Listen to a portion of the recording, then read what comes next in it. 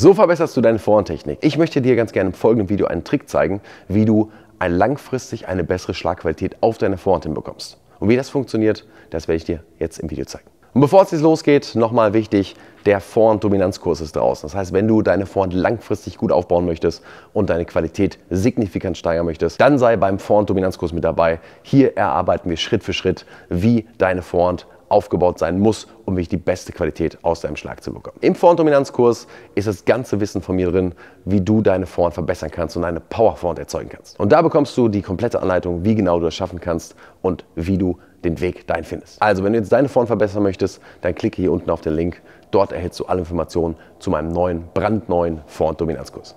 Ein ausschlaggebender Punkt, um eine Form mit einer guten Qualität zu spielen, ist grundsätzlich immer die Treffhöhe. Die Treffhöhe entscheidet darüber, wie viel Energie und wie viel Qualität ich in meine Vorhand bringen kann.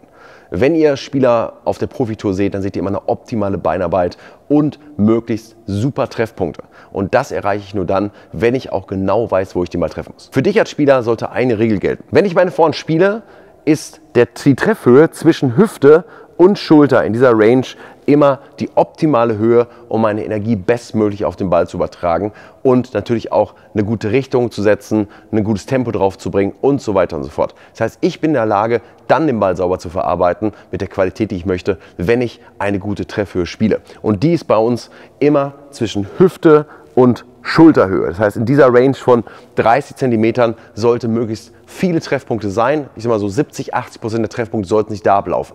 Und da geht es natürlich dann auch ums Thema Beinarbeit. Weil nur mit einer guten Beinarbeit bekomme ich genau diese Treffhöhe hin. Erinnere dich mal an deine Anfänger. Ja? Das wirft der Trainer dir den Ball zu, äh, wenn du anfängst Tennis zu lernen. Und dieser Ball ist meist immer genau auf dieser Höhe. Wenn ich dann als Spieler mich weiterentwickle, das erste Mal gegen einen äh, Gegner oder mit einem Partner spiele, ändern sich immer automatisch die Treffhöhen. Ja? Weil ich muss lernen, den Ball gut anzulaufen. Und wenn ich das nicht kann, dann arbeite ich in Treffhöhen Treffpunkte rein, die oberhalb der Schulter liegen oder die weit unten liegen. Und das wird für mich natürlich immer schwierig sein zu verarbeiten. Die Grundlage für eine gute Treffhöhe ist natürlich erstmal zum einen das Erkennen, was passiert. Wenn ich jetzt einen Trainer dabei habe oder ich spiele mit jemandem im T-Feld, ja, dann kann ich natürlich max fast immer auf einer guten Treffhöhe arbeiten, weil ich mit wenig Energie spiele oder Gegner spielen mit wenig Energie und ich bin in der Lage, den Ball auf einer sauberen Treffhöhe zu verarbeiten. Das zieht natürlich immer daraufhin ab, wenn ich mich im T-Feld einschlage, dass ich meinen Schlagautomatismus reinbekomme und dass ich den Ball, wie gesagt, auf einer guten Treffhöhe schlage. Das wird für mich relativ leicht, die Treffhöhe anzulaufen. Das heißt, ich kann hier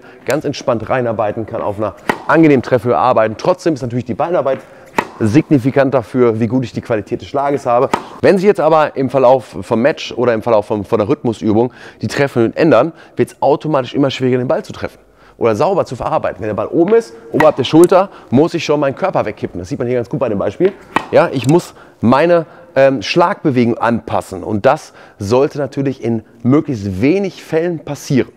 Ja? Deswegen ist es so wichtig, dass ich natürlich für eine optimale Treffhöhe auch die Beinarbeit mitnehme. Das heißt, wenn der Ball hochkommt, dann arbeite ich zurück und versuche darauf zu achten, dass ich die Treffhöhe wieder genau da habe, wo ich sie haben möchte. Nämlich zwischen Hüfte und Schulter. In der Range kann ich den Ball am saubersten verarbeiten. Und das ist natürlich ein Thema der Beinarbeit. Ja, ich muss mich versuchen, immer wieder anzupassen, um mich auch eine bestmögliche Schlagqualität rauszubekommen. Ich arbeite zurück, arbeite auf einer guten Höhe und bin dann in der Lage, den Ball sauber in einer guten Treffhöhe zu verarbeiten. Das Ganze natürlich auch bei kurzen Bällen. Das heißt, wenn der Ball kurz kommt, arbeite, warte ich nicht auf den Ball, sondern ich arbeite ins Feld rein und versuche dann den Ball wieder auf einer optimalen Treffhöhe für mich zu haben, damit ich hier auch den Schlag sauber durchlaufen lassen kann. Das heißt, hier ist erstmal die wichtige Sache der Einschätzung.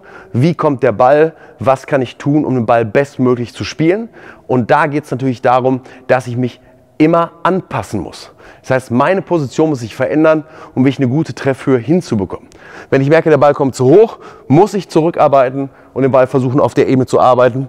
Und wenn der Ball zu kurz kommt, muss ich ins Feld reingehen und muss versuchen, hier auch weiter eine gute Treffhöhe zu spielen. Das heißt, die, Ein die frühe Einschätzung der Situation ist natürlich hier ganz wichtig und das bringt natürlich auch die Erfahrung mit sich. Aber wichtig für uns Tennisspieler ist es, dass ich dauerhaft in Bewegung bin, um wirklich Kleins- und Feinsjustierung immer wieder zu meinem Abstand zum Ball und natürlich auch zu der Treffhöhe des Balles hinzubekommen.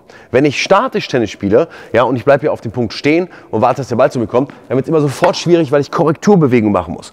Und Korrekturbewegungen sind eigentlich das Schlimmste, was ich machen kann. Jede Korrektur sollte vor dem Treffen stattfinden und nicht im Treffpunkt. Das ist ganz wichtig für dich als Tennisspieler. Ja, das heißt, die Beinarbeit oder die gute Korrektur findet vor dem Treffen statt, sodass ich dann optimal stehe und den Schlag schön rausbringen kann. Mit einer guten Qualität, wie gesagt, und bin dann natürlich in der Lage, hier noch richtig schöne Schläge zu produzieren, die auf einer guten Höhe laufen, die viel Tempo haben, die eine gute Länge haben, die einen guten Winkel haben. Das heißt, aus so einem Moment raus kann ich viel machen. Je höher die Treffpunkte werden, desto mehr muss ich runterreißen. Das heißt, ich bekomme zum Beispiel keine gute Länge mehr drauf, weil der Ball flach übers Netz gespielt wird. Je tiefer der Ball ist, desto schwerer wird es für mich, das Tempo oben zu halten, weil ich nämlich dann in der nicht in der Lage bin, Tempo auf den Ball zu bringen. Für dich folgende Regel, 70 Prozent deiner Schläge sollten auf einer guten Ebene laufen, damit du das Feld dominieren kannst. Wenn du merkst, dass es weniger wird, dann musst du gucken, dass du deine Beinarbeit wieder anpasst und versuchst wirklich auf eine gute Treffhöhe zu kommen. Deswegen achte ganz gezielt darauf, dass du versuchst, über die Beinarbeit, über die Anpassung an die Situation für dich perfekte Schläge zu produzieren, damit du die Oberhand auf dem Feld behältst. Also meine gezielte Aufgabe an dich, wenn du das nächste Mal auf dem Platz stehst, ich hoffe, das ist morgen oder übermorgen, dann sieh zu, dass du immer wieder versuchst, die Anpassung an die Situation oder durch die Anpassung an die Situation eine perfekte Treffhöhe zu bekommen, um hier wirklich einfach sauber rauszuarbeiten. Deswegen beweg dich gut, sei aktiv, schätze die Situation früh ein und du wirst merken, dass dann der Schlag fast automatisch läuft.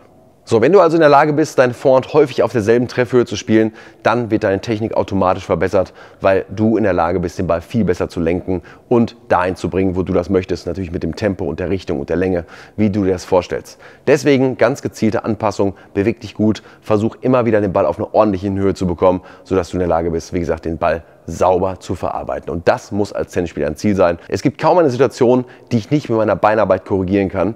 Deswegen sei aktiv und versuch deine Technik zu verbessern. Also das war's mit dem Thema. Ich wünsche nun ganz viel Spaß auf dem Tennisplatz und wir sehen uns im nächsten Video. Bis dahin, dein Sven.